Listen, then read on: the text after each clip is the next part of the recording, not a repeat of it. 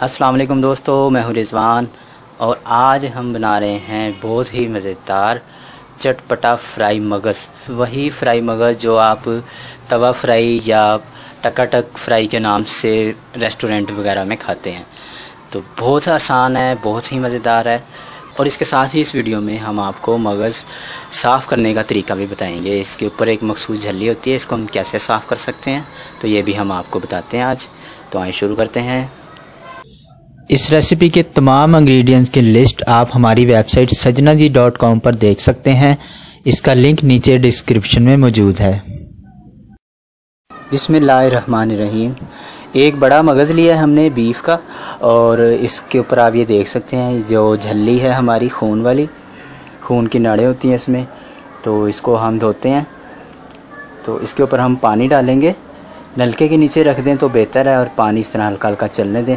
एक बार इसको अच्छे तरीके से धो लेते हैं ताकि इसके बाहर जो खून है वो साफ़ हो जाए और उल्टा करके इसको हम ये देखें यहाँ से भी थोड़ा इसका साफ़ सफ़ाई कर लेते हैं। ये जो एक झल्ली आपको नज़र आ रही होगी, ये इस झल्ली में खून वगैरह की नालियाँ होती हैं तो इसको हमने उतारना है। पानी के नीचे इसको रखेंगे और इस तरह से ये झल्ली हम उतारने की कोशिश करेंगे। बहुत आराम से, प्यार से इसको उतारें ये बहुत उतर जाती है। इसकी जो लहरें सी बनी हुई हैं, इसके अंदर इस तरह आप उंगली डालेंगे तो ये थोड़ी सी ऊपर उठेगी और आप इसको पकड़ के इस तरह आराम से उतारते चले जाएँ। तो ये झल्ली खाने के काबिल नहीं होती, इसलिए इसको उतारना ज़रूरी होता है। कुछ लोग इसको बॉयल करते हैं, उबालते हैं पानी में फिर ये झल्ली आराम से उतर जाती है, लेकिन उस तरीके से मगज़ का जो सारा जायका होता है, वो निकल जाता है। ये देखें, ये झल्ली है, जो कि खाई नहीं जाती। और ये देखें, झल्ली हमने उतार ली है, अब इसको उल्टा करके इसको साफ़ पानी से हम धोते हैं। इसमें जो थोड़ा बहुत झल्ली वगैरह रह गई है, खून है, ये भी इसको हम अच्छे तरीके से साफ़ कर लेंगे। तो ये देखें, ये हमने उतार ली और इसको हमने एक बार बाद में भी साफ़ पानी से धो लिया और ये अच्छे तरीके से साफ़ हो चुका है। अब हम इसके पकाने की तरफ़ चलते हैं इसको। बिसमीम सबसे पहले 50-60 ग्राम हम घी या कुकिंग ऑयल गर्म करेंगे। जब ये हल्का सा गर्म हो जाए तो इसमें हम करीब 50-60 ग्राम के से थोड़ा सा ज़्यादा हमारे पास प्याज था। हमने वो बारीक काट कर इसमें शामिल कर दिया मसाला ज़्यादा बनाना चाहते हैं तो थोड़ा ज़्यादा भी कर सकते हैं प्याज, वरना पचास साठ ग्राम प्याज ठीक रहता है इसके लिए। तो इसको इतना फ्राई करेंगे कि ये थोड़ा नरम हो जाए, लेकिन ब्राउन हमने इसको नहीं करना। रहीम अब हम मसाले लेंगे। पाँच छः हमने सब्ज़ मिर्चें काट ली हैं।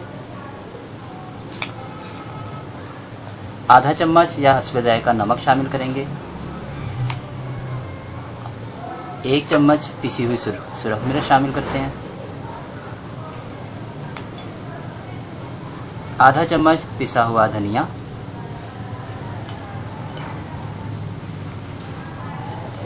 एक चौथाई चम्मच हल्दी।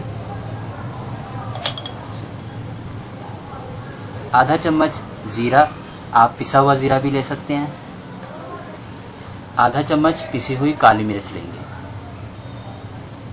हमारे पास पिसे हुए टमाटर हैं। तो ये हम डालेंगे दो चम्मच भर के हमने डाले। अगर आप ताज़े टमाटर ले रहे हैं तो 50 ग्राम टमाटर आप इस्तेमाल करेंगे। नरम हो चुका है और हल्के हल्के इसके किनारे ब्राउन है। पिसा हुआ अदरक लहसुन है हमारे पास तो इसमें से हम एक चम्मच शामिल करेंगे। यानी कि आधा चम्मच लहसुन और आधा चम्मच अदरक।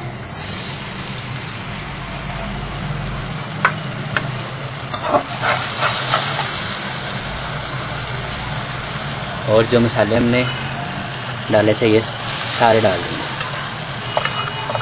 और इसमें करीब एक कप के करीब पानी डालेंगे। अब इसको दो मिनट तक हमने पकाना है। तकरीबन दो मिनट इस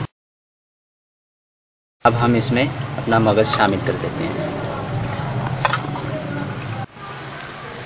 इसको अब हम थोड़ा थोड़ा ऐसे तोड़ देते हैं। कुछ लोग मगज़ को उबाल के, कुछ लोग मगज़ को उबाल कर पकाते हैं, मगर हमने उबालना नहीं है। उबालने से इसका सारा जायका जो है वो ख़त्म हो जाता है। तो बिल्कुल मज़ा नहीं आता। आप इस तरीके से पकाएँ तो इंशाल्लाह आपको बहुत अच्छा लगेगा। और हमने ये फुल स्पाइसी बनाया है, बहुत तेज़ मसाले शामिल किए हैं। आप अगर ज़्यादा मिर्च मसाला नहीं खाते तो मसाले आप अपनी पसंद के मुताबिक कम कर सकते हैं।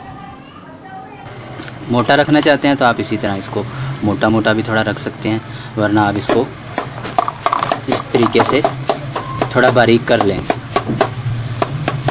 तो हम ज़रा दरमियाना सा रखेंगे। करीब दो मिनट हमें हुए हैं, अब हमने इसको थोड़ा वक्फे वक्फे से इसको हिलाते रहना है। इसमें चम्मच चलाते रहेंगे, वरना ये नीचे से जल जाएगा। तो बस इसका पानी खुशक करना है हमने, और इसको वक्फे वक्फे से हमने लाजमी इसमें चम्मच चलाना तो ये देखें, इसका घी जो है वो अलग होना शुरू हो चुका है। तो अब ये हमारा तैयार हो चुका है। अगर हम मज़ीद खुशक करना चाहते हैं तो थोड़ा, थोड़ी देर और इसको फ्राई कर लें। तो लेकिन ये इस वक्त ठीक है। तो इस मौके पर हम इसका चूल्हा बंद कर देंगे और अपनी पसंद की कुछ चीज़ों की गार्निश करते हैं। पिसा हुआ गरम मसाला, करीब एक चौथाई चम्मच। थोड़ी सी कटी हुई सब्ज़ मिर्चें, थोड़ा सा अदरक, थोड़ा सा सब्ज़ धनिया। और बस पाँच मिनट के लिए इसको ढक के रख देंगे।